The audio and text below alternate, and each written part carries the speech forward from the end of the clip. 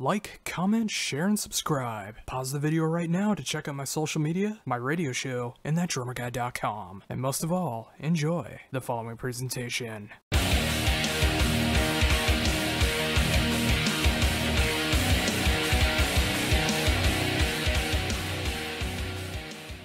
Um, so how are you?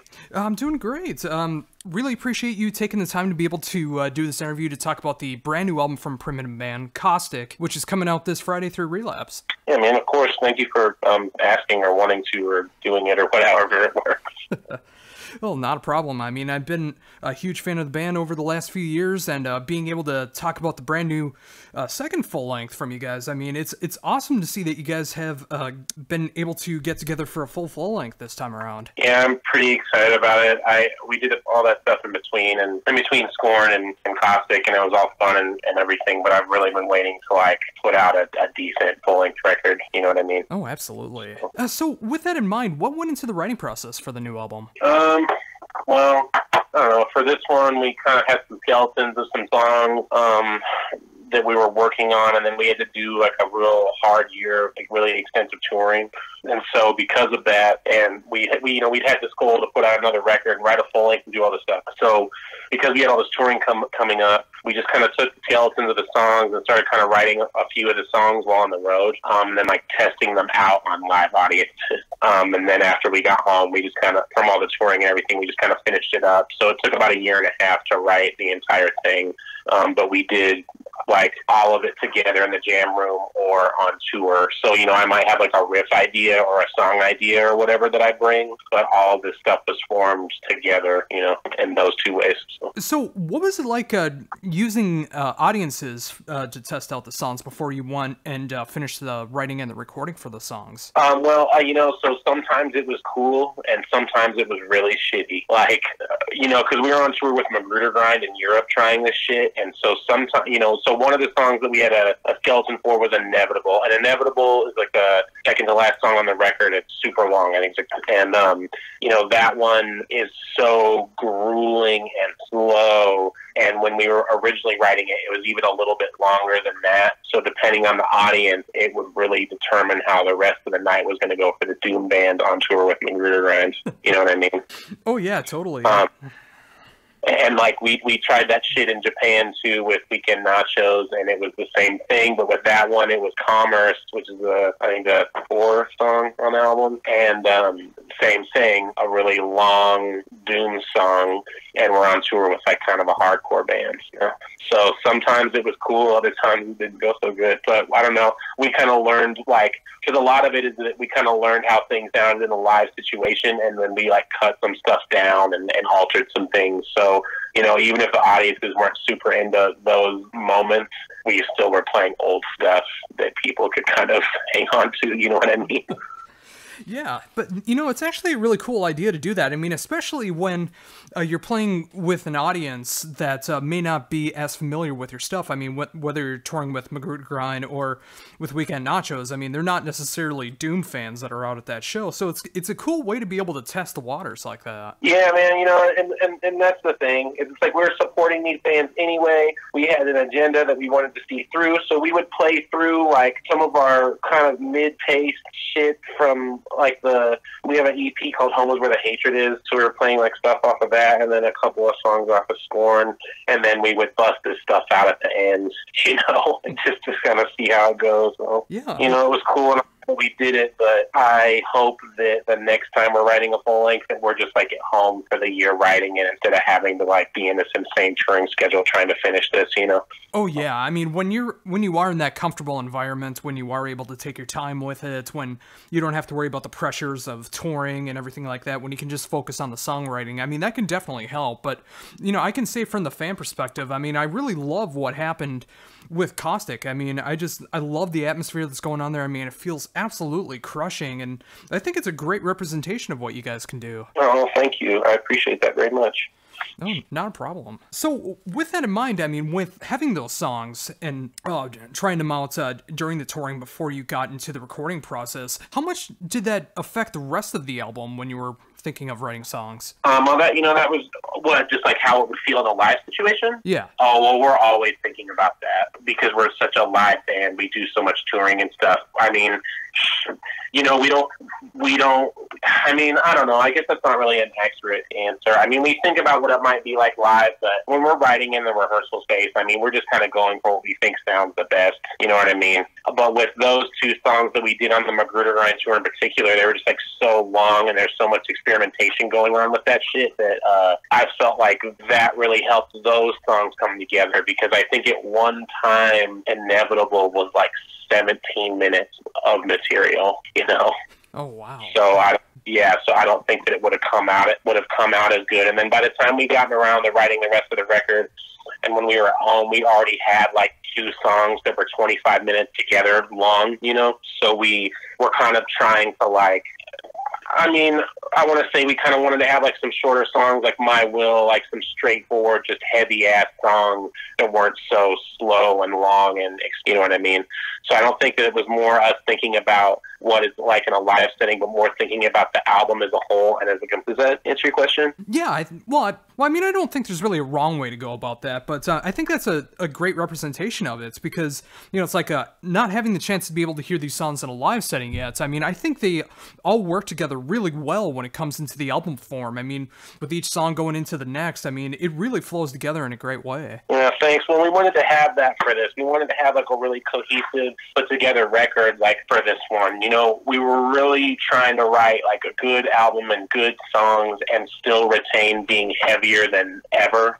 You know what I mean? So that I guess that that was our main goal and our main focus through all of this stuff. Yeah, and that was another thing I was going to mention too. I mean, especially from like the production and the tones and everything going on. I mean, this is easily the heaviest stuff that you guys have done so far. I mean, everything with it just sounds so crushing, especially in the production. I mean, did that take a lot of effort to be able to get the right uh, tones and everything for the recorded product? Um, well, you know, Dave Otero is pretty awesome. He let me play through my entire rig in the studio. We worked with him before. Dave knows where we're coming from, so it was like pretty easy for us because we worked with him for so many years. And I've worked with him with other bands. Like I probably had a recording relationship with Dave Otero since I think like 2004 or something. So, uh, so it wasn't all that difficult really. Um, and we had two weeks in there, so we got to like, if we didn't think we were playing something slow enough, we got to try it again because we had the time. If we felt like something was too fast, we could try it again because we had the time. So I, I think it was it wasn't so hard to find the tones because we'd done it before with him, but it was really nice to have the luxury to like go back and do shit exactly how we wanted it to be, you know? Oh, yeah, without question. I mean, when you do have that feeling of being rushed in the studio, you're always going to feel like there's parts that you wish you could have changed, or uh, whether it's uh, the tones or uh, the tempo or whatever the case is. But the fact that you guys were able to go back and make everything the way that you want it to be, I think it definitely paid off. Yeah, man, and me too. And I, and I really hope that the next time that we go and record with Otero that we have that much time again just because it worked out so well. Like we recorded Scorn in three days and same as with uh Home is Where the Hatred Is and all of those split tracks that we did, all of that shit was kind of most of them were all recorded in the same session. I think it was the same thing. It was like three days to do everything. You know what I mean? Oh wow, yeah. I mean, I mean, the fact that you guys were able to work with that uh, three-day pressure, but then now being able to have that experience, being able to go with a couple weeks. I mean, there's so much more you can add to it. Mm-hmm. Well, I, you know, I got to do all the noise interludes and and that sort of thing, and really make those just right, you know, because there's a certain amount of randomness to that stuff.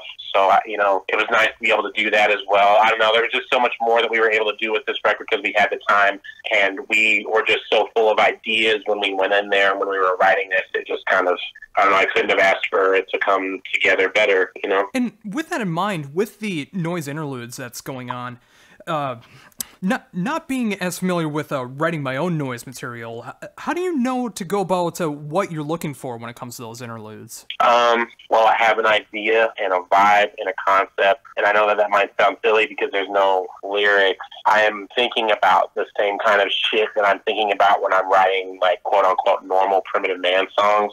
So I kind of already know sonically what I want. So it's just about me like being able to pull all my equipment together to get that, you know. Uh, yeah, I mean, it, I definitely think they worked off amazingly well with it. I mean, like w- with those interludes being able to go between the crushing uh, full length songs that are going on there, I think it's a nice little break in between. Thanks. I uh, have gotten mixed reviews. well, I guess just like for me, it's like I, I like a good change of pace. I mean, like especially when it comes to like Doom and something like that. I mean, like if it, it's nice to have just like a little variation, even if it is just like a little interlude moments or something like that. So having something that's like almost completely different, I mean, it's really cool to see. Oh, thanks. And, and we, we put out like a a double LP of drone and experimental noise also. And a lot of people, I guess, don't really know that. So it's always been a part of Primitive Man. Even on Scorn, there's like noise stuff on there. But we just wanted to make it more of a thing for this release because we're we're doing it live now and, and all that, you know. So we wanted to, to kind of represent where the band is at now as well. So. Oh, that totally makes sense. And um, speaking of that, uh, you did mention there's a little bit of mixed reviews when it comes to the noise interludes from the album. But I also see yesterday that uh, Noisey uh, released a full stream of the album. Uh, have you had much of a chance to hear like uh, receptions from yesterday uh, as far as the stream goes? Um, I mean, you know, my, I've like had some friends reach out to me and stuff and say that they were really stoked on it, but I haven't. I've been so busy that I haven't really gotten to take a, a minute to look to see what anyone has said. so. Oh yeah, that totally makes sense. I mean, with all the press that's going on, you know, like uh, the upcoming touring, and then just like uh, everyday life as well. I mean, it's it's great that you guys were able to take the take the time to be able to uh, put this album together, make the full length, and you know, just like uh, being able to continue on it as Primitive Man. Yeah, I'm I'm really excited about it and super stoked. There was a time where I didn't think that we would ever make it to this album, so it's nice that we did. You know.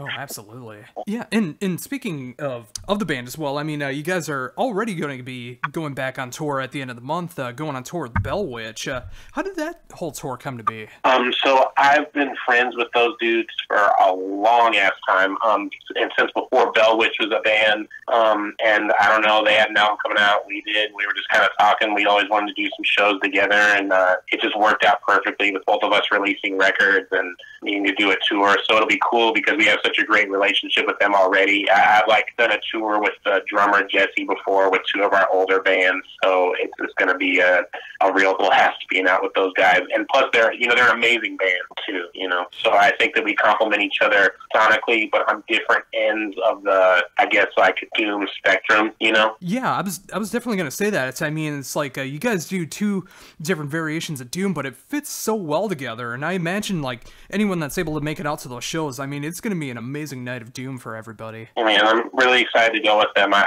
I, I you know, we've gotten to tour some cool bands this year. Like we got to go out with Weedeater, and that was super fun, and, and do some stuff like that. But I think that we are going to fit with Bell Witch and like a, and, and I felt like we fit with Weedeater too, which is kind of weird. I know that, that might sound kind of weird, but it is like the dirtiest fucking weed metal band to ever exist. You know what I mean?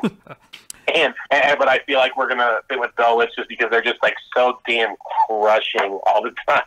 You know. Yeah, so. yeah. It definitely sounds like there's going to be a little friendly competition going on there to see who's going to be pulling off the most crushing live set during this tour. Oh shit, it's nothing like that at all, man. They're gonna do their thing, we're gonna do our thing, and we're that's it. We're just gonna have a good time. It's not life, no competition at all. These are our fucking friends, you know. Oh yeah, and I definitely think that's the way it should be too. I mean, when you're going on these extensive tours like that, I mean, you want to be friends with everyone you're going on tour with, or else it's going to be a terrible time being on the road. Yeah, we we've had a couple of tours like last year that we went on. That was just fucking terrible. We didn't get along with a, a couple of the people in the other bands. It was a rough ass time. So I'm glad that this one is just all among friends, you know. Oh, definitely. Yeah, I mean, uh, sadly, it's not coming to my area in Minnesota, but uh, you know, it's like it's great to see that you guys are able to go out for almost a full month, being able to tour together and just like bring some amazing doom to everybody. Yeah, man, I'm excited to do it. I wish that we were coming to Minneapolis. I, I don't know where in Minnesota you live, but oh yeah, in we- Minneapolis. you- Okay, well, we usually play there, and I love that city. And um, the you know that band Hives from Oh, yeah. there. All right, well, so that guitar, the singer and the guitar player Morgan and I are, are really old friends, and so uh, I always like to come through there and like play with them and see those guys. But it just didn't work out this time. But I think that we're going to try to come out there um, in the spring of next year. So. Oh yeah, and I was just about to ask that too. I mean, is there uh, any plans yet in the works for 2018 so far? Yeah, we have, we have a bunch of stuff that we're trying to work out. Um, for spring and summer and uh, overseas touring and all this stuff. I just can't say anything about it because it involves other bands. Oh, sure, sure, yeah. Well, th- that makes me very excited too. I mean, it's great to see that you guys are able to, again, you know, just like being able to continue on as Primitive Man, being able to uh, tour as much as you guys do, and now the fact that you guys have a brand new full length to be able to tour behind and be able to add that much more to the set list and be able to just have like this crushing live show. I mean, it's so awesome to see. Thanks, man. We're lucky because we have jobs that let us leave. Well, kind of. They reluctantly let us leave. Sometimes we don't have them when we come back, but generally it's been okay. And uh, you know, going to keep doing it till we can't anymore. But I'm really excited and feel really lucky that we get to go out. You know. Yeah, definitely, and it, it, it helps that you guys do have the passion for the music as well. I mean, it'd be terrible if you guys were just like out there and just like writing this music you feel like you have to make rather than the music that you actually want to make. Well, I'll tell you what, if that were the case, we would definitely not be playing this shit. because if I, if I were out there just like playing it to just get paid because I had to, we would not sound like Primitive Man. it's not, you know, you playing this extreme shit. You have to have a passion for it. Like, you know what I mean? I, I, I believe that anyone that is playing anything that's super heavy, you have to have passion for it. Or you wouldn't be playing it. Yeah, it's really true. And you know, it's again, you know, it's like I hear that all throughout Caustic. I mean, from beginning, middle to end, you know, it's just like I hear that passion and that that crushing sound that's going on, and you know, it's just like with all the years experience of like different bands, and of course, uh, everything that you guys have gone through with Primitive Man. I mean, it's just a great accumulation of where you guys are right now, and you know, it's just like I imagine with the live setting and you know, just like uh, having everything work together when it comes to that, the the new songs are just going to sound amazing live. I mean, I, I I hope so. We've been playing a couple of them on. Um, we we've done some shows out of town this year, and we've played a couple of them, and the responses were really good. You know, before we premiered anything, so hopefully now people will like know the songs and and all that. And plus, we're to play only songs from Caustic, so I hope it doesn't disappoint the shit out of everybody. But it's going to go. well, I, I, I know as a fan, like, I, I really do appreciate that you guys are uh, focusing on Caustic. I mean, besides the fact that you guys are uh, touring in promotion of that, I mean, there's so many songs that should be represented off that album live, and it's great to see that you guys are doing that. Well, and I appreciate that, man. I know that we're not the same, but, you know, like, I worry about it because I'm just like, well, you know, I don't go to see Neurosis to see them not play the doorway. you know, so I worry about people being disappointed in our live set because we're playing all this new shit. But I guess it's just how it goes, you know. Well, thankfully, with that, I mean, with the album coming out tomorrow, I mean, there is so much that I mean, there is enough time that uh, people should be able to check out uh, during this tour, be able to pick up the new album and really get to experience the new album before they get to see it live. Yeah, I hope so. But we'll see. Either way, we're going. That's gonna be cool. Oh, definitely. Well, you know, uh, thank you again so much for taking the time to be able to talk to me about everything that's going on in the world of Primitive Man right now, and of course, uh, talking about the brand new album Caustic, which comes out tomorrow uh, through Relapse. Uh, I've gotten to enjoy this over the last week, and I've again, it's just like I really love where you guys are right now. I mean, I love the production, I love the songwriting, uh, the interludes. I think really fit well with everything, and I'm glad to see uh, the mostly positive response that I've uh, seen for the album so far. And I just hope that continues on uh, throughout 2018 and up to the next album writing cycle. You know, just like really getting the promotion it deserves and getting you guys as far along as you need to be because you guys are doing it right and I really appreciate what you guys are doing. Well, man, thank you for the kind words. It's really nice of you to say. I, I can't thank you enough, and thank you for taking the time to interview me and, and all that. You know.